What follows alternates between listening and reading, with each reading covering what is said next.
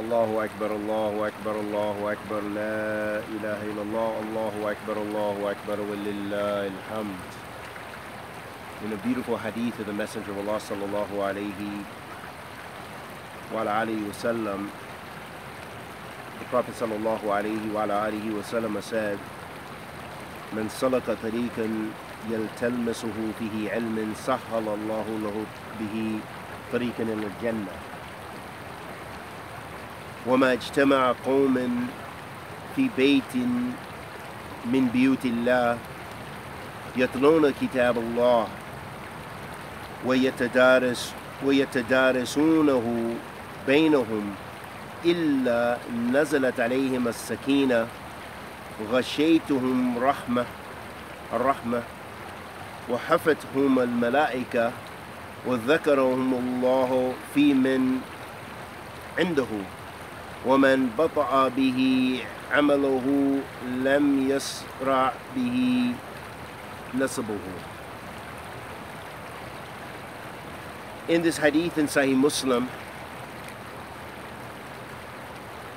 the Prophet sallallahu alaihi wasallam said, Whoever traverses the path of knowledge, Allah will make easy for him the path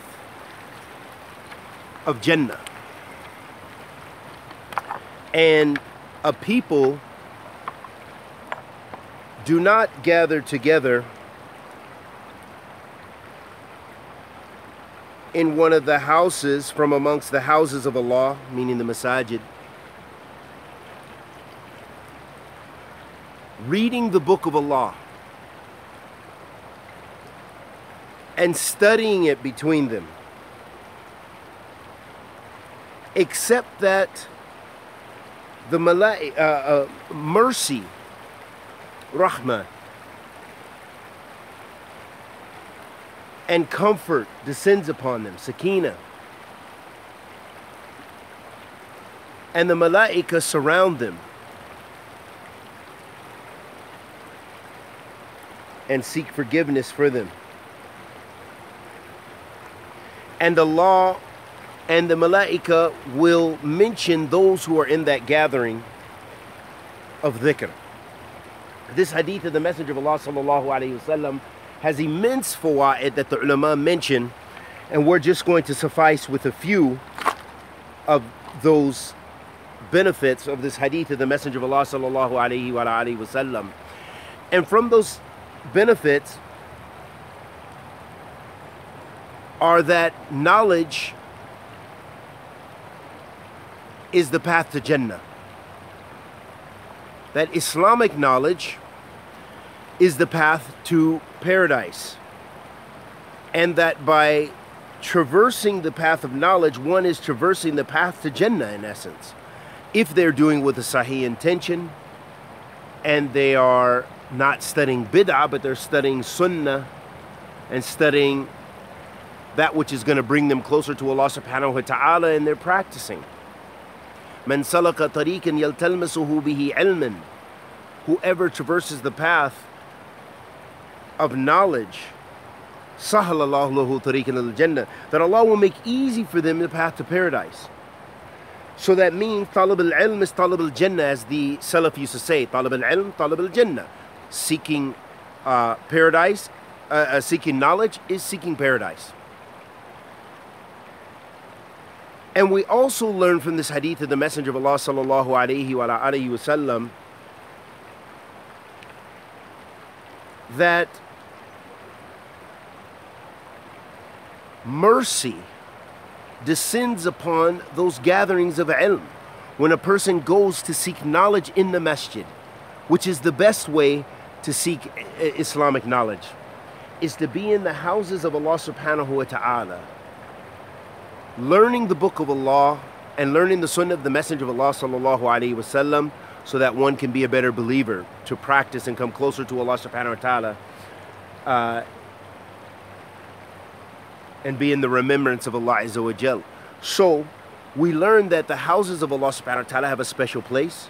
And we also learn that seeking knowledge in the in the uh, in, and knowledge meaning ilm nafi meaning the Quran and the Sunnah of the Prophet wasallam that this is a uh, this is a part of the means to Jannah, and it is a place of mercy.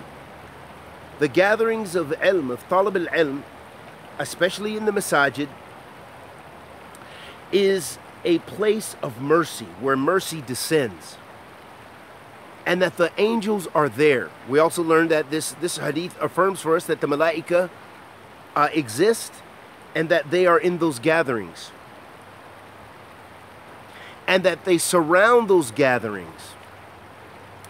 And that the malaika, they mention to Allah subhanahu wa ta'ala about the people in those in those groups, even the one who wasn't really listening, but they just attended and sat in that group, perhaps for the sake of Allah subhanahu wa ta'ala, then there's forgiveness for them as well. So that these group these group gatherings of ilm and dhikr are gatherings in which a person will gain forgiveness from Allah subhanahu wa ta'ala and will gain uh, mercy, the mercy of Allah subhanahu wa ta'ala subhanahu wa ta'ala and also the malaika are present and will mention them. So it shows us, ahabatifillah, the importance of ilm and the importance of striving to gain Islamic knowledge, the importance of trying to strive to come closer to Allah subhanahu wa ta'ala with ilm and and the importance of doing, of being in the, in the gatherings of Ahl al-Ilm, to be in with the scholars. That this is imperative. And if you can't be with the scholars, at least in your locality and in your countries and cities and towns, strive to be with the students of knowledge. And if there are no students of knowledge, but the Imam just reads a hadith of the Messenger of Allah sallallahu alaihi wasallam, then try to be in that gathering. And if the Imam doesn't read a hadith of the Messenger of Allah sallallahu alaihi wasallam, then try to be in the gathering where they're learning the they're they're they're learning the Quran, where you can learn and you can learn how to recite the Quran and memorize the Quran.